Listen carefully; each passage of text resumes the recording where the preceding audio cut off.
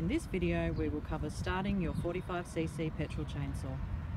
Okay, just a couple of things before we go through the, the starting. Just make sure you've added uh, your fuel into the, uh, the rear section of the, of the housing here uh, at 40 to 1 and in the front uh, we add the chain oil.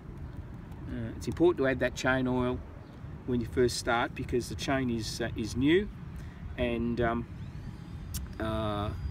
we want to make sure that it's well lubricated at the beginning of, uh, of the startup. Just making sure before you attempt to start it that the, the, the bar cover is off. Don't try and start it with the bar cover on.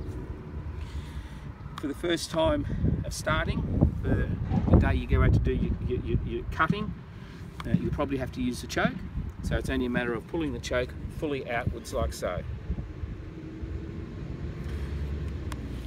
Turn the ignition on on the uh, on the saw, you need to lift the on-off switch like so.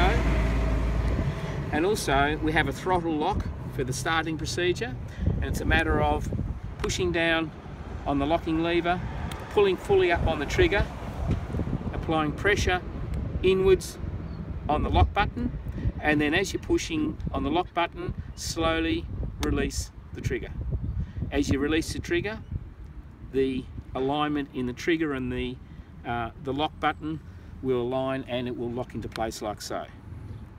To release it, it's only a matter when it starts just to um, pull on the trigger like so and the lock button uh, disengages. So again, push it down, trigger on full, apply pressure to the lock button and slowly release the trigger and it will jump into place and lock in. This is a uh, uh, an easy start type um, pull starter.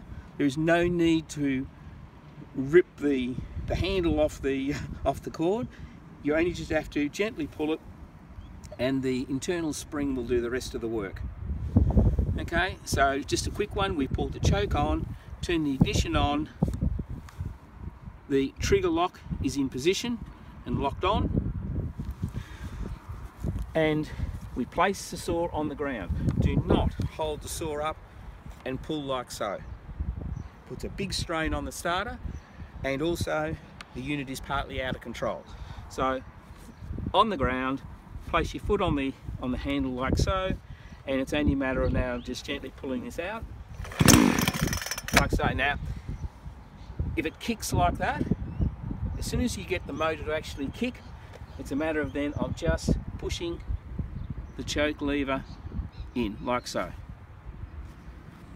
And then it's only a matter of pulling again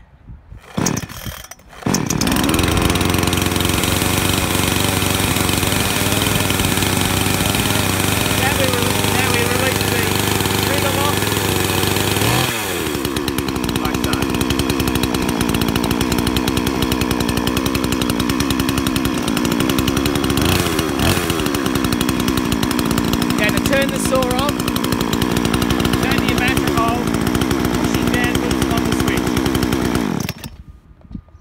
Like so. After you've started the saw and it's been running for uh, uh, a minute or so, it's always good to uh, accelerate the saw with the, the chain close to an object.